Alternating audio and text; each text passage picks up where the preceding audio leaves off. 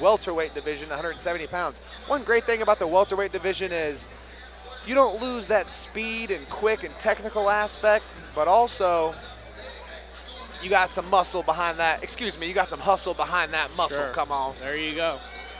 So Absolutely. it's right in the middle.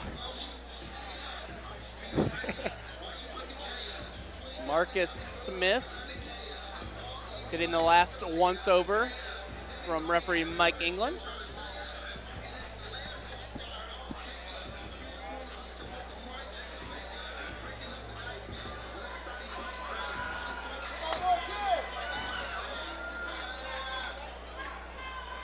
Ladies and gentlemen, this next bout is brought to you by Don's Barber Shop, located on 23rd Street next to Aldi's.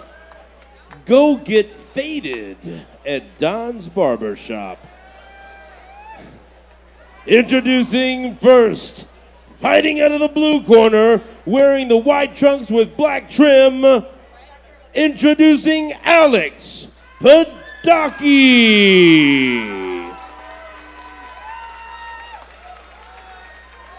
And standing Anthony, how much across the difference do you cage, fighting out of the when you have a red guy corner, wearing the red right trunks, tonight, Marcus who's had one fight. Smith. How beneficial is that that one fight in the And here cage, whether it's 30 England once seconds or nine minutes? The you know, that one fight is a little bit of a mixture of a huge deal and not a big deal at all. Okay. Um, you know, it gets you rid of those jitters of walking in the octagon for the first time barefoot. That can be a little weird. Taking your shirt off in public can be a little bit weird for the first time. So Who honestly, the two things he's used to is feeling that canvas floor in his bare feet and Then being uh, half naked in noise. public. Other than that, we got an equal brawl here at Kansas City Love it. Fighting Alliance at 170 pounds. Here we Here go. we go. Glove touch in the center.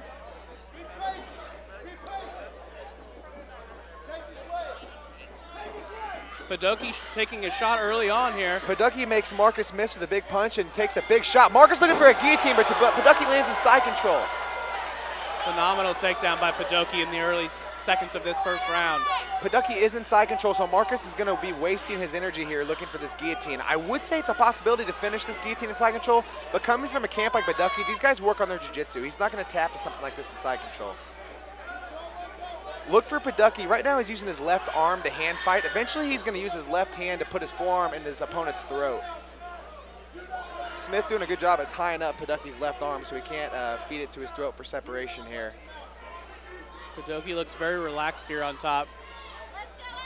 Look to see if he can free his head and land some shots. Pedockie is by no means in a comfortable situation right now, but he's definitely in not a threatful situation. Eventually, you're going to see Marcus let go of the head here, and Pedockie's going to see what he can do from side control. Pedockie's looking to use his right arm to control the legs of Marcus here. He's preparing for when that head pops out. What's next? Well, what's next is he's going to control the legs. At least that's what's on his mind. Good knees to the body.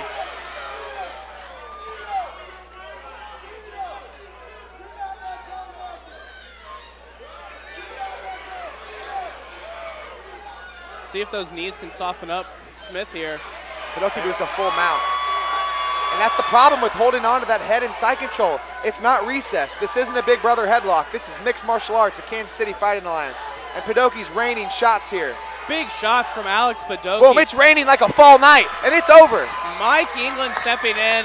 Huge TKO victory from Alex Pedockie. And you were absolutely right. He was waiting to get that head free, and as soon as he did, he transitioned to mount and then to the back of Smith, and it was over from there.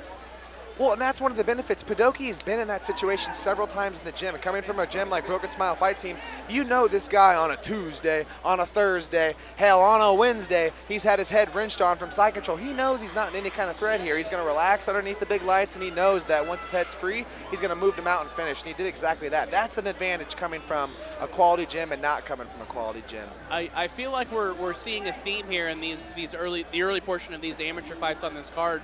It, you, see a good exchange from from both guys, and the guy who lands in dominant position, uh, oftentimes in these early fights, has the has the ability to finish the fight rather quickly.